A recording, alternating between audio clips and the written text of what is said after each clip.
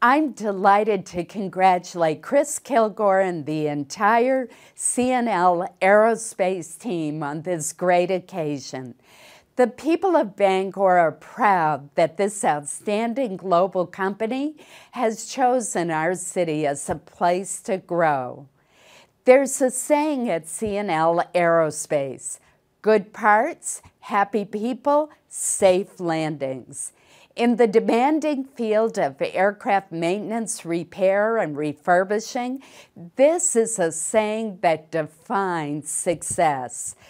Your commitment to excellence is the foundation of another saying that guides all who work here.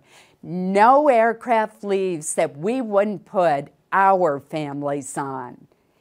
In addition to satisfied customers the world over, C&L Aerospace has created a lot of happy people in this region since coming to Bangor four years ago, especially the more than 120 skilled and dedicated employees and their families. The experience and expertise of these workers have helped to make this company an industry leader. It was almost exactly a year ago that I announced a federal grant of nearly $580,000 to help move this $5 million expansion project forward.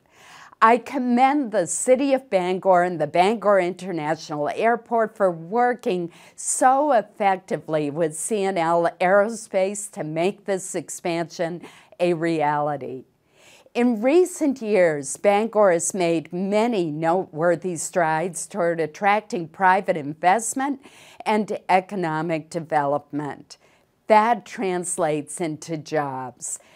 This spirit of cooperation and collaboration is bringing new rewarding jobs to our area and will provide substantial economic benefits to the region for many years to come.